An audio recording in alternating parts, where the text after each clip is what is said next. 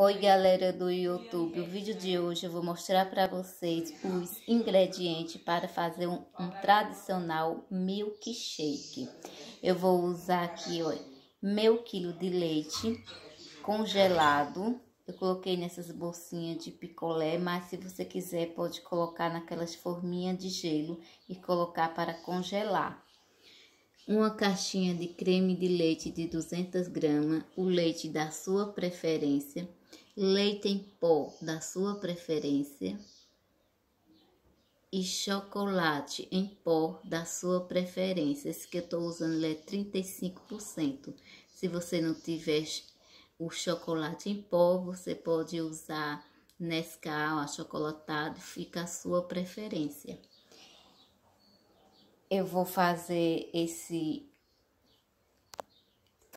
esse milkshake postado no meu canal. Quem for inscrito, se inscreve e deixa o like. Tchau, tchau!